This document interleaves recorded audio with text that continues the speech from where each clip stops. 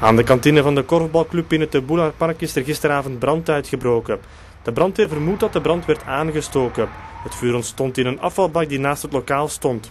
Al snel sloegen de vlammen hoog op en raakte de zijkant van de kantine beschadigd. Een buurtbewoner verwittigde de brandweer en die kon door haar snelle optreden niet voorkomen dat het gebouw in de vlammen opging.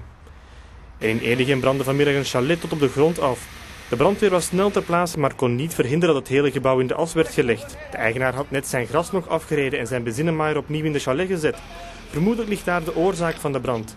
Het verkeer op de Prins Boudewijn ondervond weinig hinder van de interventie.